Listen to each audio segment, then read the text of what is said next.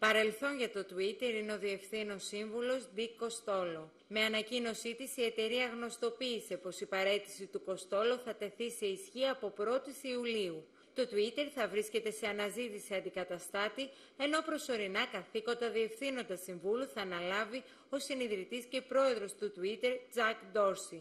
Ο Ντίκος Στόλο είχε αναλάβει τη θέση από τον Οκτώβριο του 2010.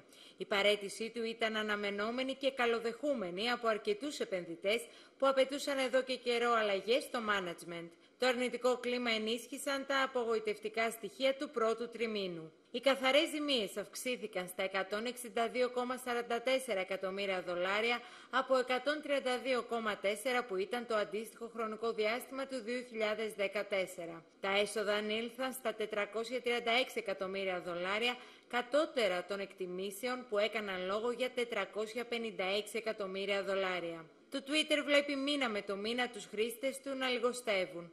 Ο μηνιαίος αριθμός των ενεργών μελών του κατά το πρώτο τρίμηνο διαμορφώθηκε στα 302 εκατομμύρια, αυξημένος κατά 18% τη στιγμή που το προηγούμενο χρονικό διάστημα αυξανόταν με ρυθμό 20%. Η δημόσια προσφορά της εταιρείας έγινε το Νοέμβριο του 2013 με τη μετοχή της στα 26 δολάρια.